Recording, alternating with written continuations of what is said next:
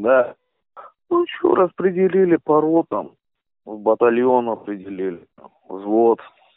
А, Второй, э, первый батальон, третья рота, третий взвод, первое отделение. Все, солянка. Тут один подводники, подводники есть, летчики есть. Стрелок, должен стрелок.